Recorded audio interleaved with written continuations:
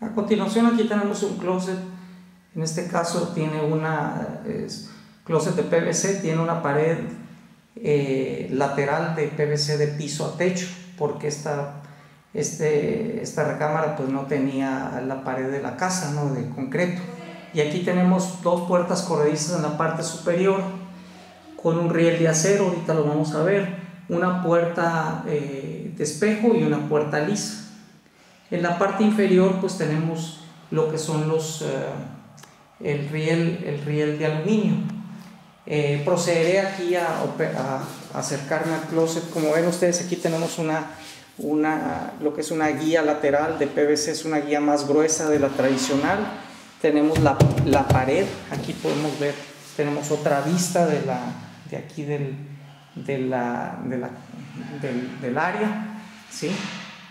Tenemos una pared interior con cuatro entrepaños, tienen refuerzos interiores donde Ven ustedes cada tornillo, pues hay un refuerzo interior, eh, el riel inferior de este de aluminio donde corren precisamente las puertas.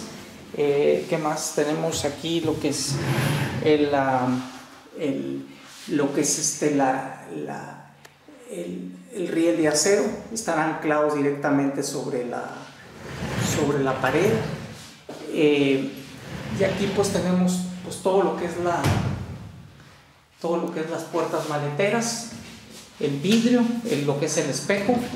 Eh, aquí procederé a abrirlo.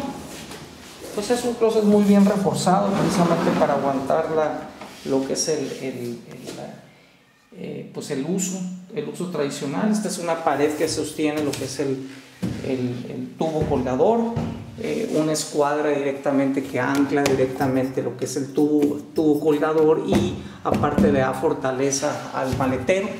Pues en fin, es todo está, aquí está el riel, el riel de acero en la parte de arriba, eh, aquí está anclado con unas escuadras metálicas a los muros. ¿sí? Como ven ustedes, yo puedo mover con un solo dedo, puedo mover sumamente el riel de acero fácil de, fácil de, de, mover y fácil de... En fin, este es, este es de maniobrar. Esta es la distribución del closet. Esperemos con esto pues haya sido de su, de su agrado este, este modelo. Gracias por, por ver nuestros videos y suscríbase a nuestro canal. Los esperamos. Gracias.